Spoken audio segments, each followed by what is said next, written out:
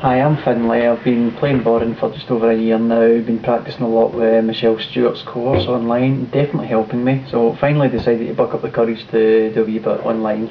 Here we go, a few different styles and rhythms.